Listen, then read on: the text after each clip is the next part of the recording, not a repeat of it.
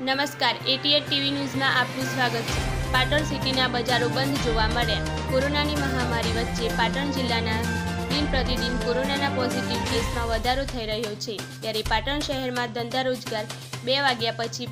સ્વયંભૂ બંધ રાખવાનું નક્કી કરવામાં આવ્યું અને સ્થાનિકો દ્વારા પોતપોતાની રીતે ધંધા રોજગાર બંધ રાખવા વેપારીઓને અપીલ કરવામાં આવી હતી ત્યારે મેડિકલ ક્ષેત્રે પાટણ સિટી મોખરે